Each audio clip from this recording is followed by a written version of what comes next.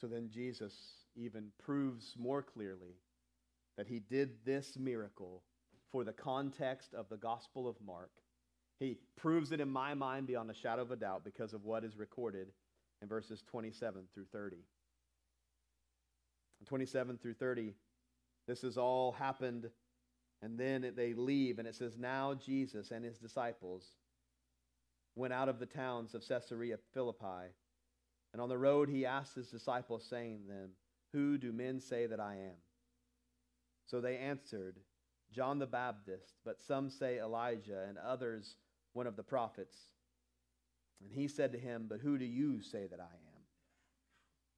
Peter answered and said to him, You are the Christ. Then he strictly warned them that they should no, tell no one about him.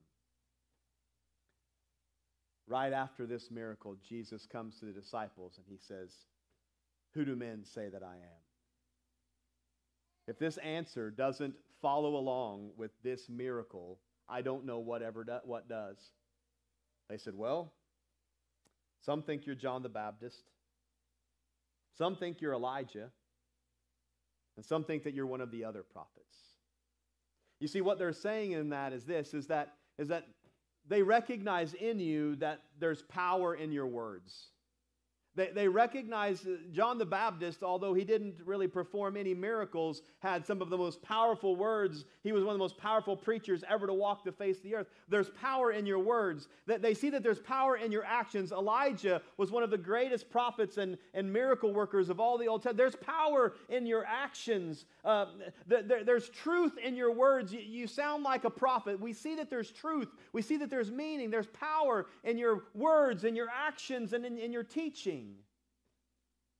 A lot of good things.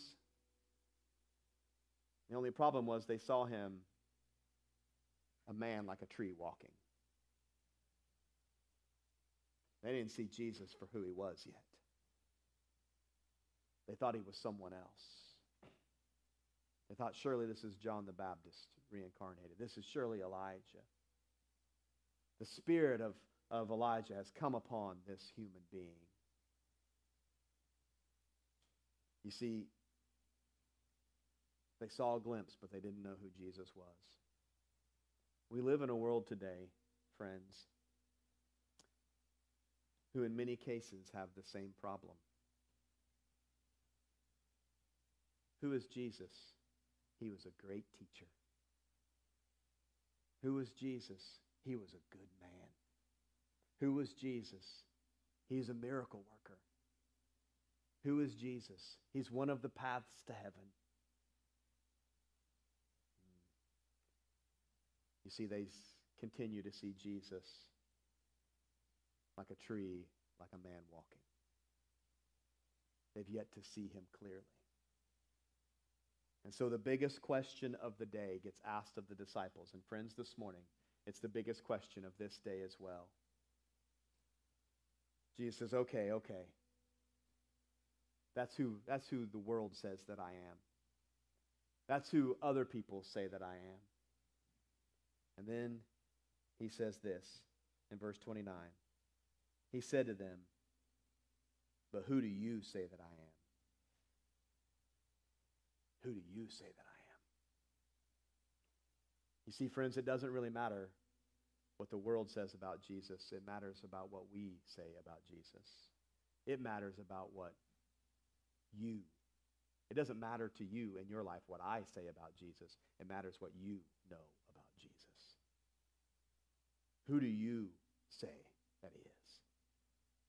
And Peter speaks up for the group as he normally does. He says, Well, you're the Christ.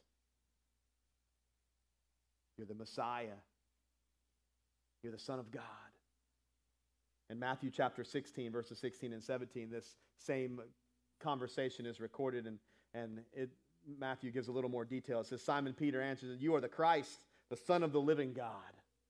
You are the Christ, the Son of the living God. And Jesus answered and said to him, Blessed are you, Simon Barjona, for flesh and blood has not revealed this to you, but my Father who is in heaven. Flesh and blood has not revealed this to you, but my Father who is in heaven. If you know Jesus, the Jesus of the Bible, as your Savior today, it's because God has revealed him to you through his Spirit, through his Word. Because there's no flesh and there's no blood. Listen, I could talk to you for hours and hours and hours, and I would. But I could never convince you in and of myself of who Jesus is. But the Spirit of God can.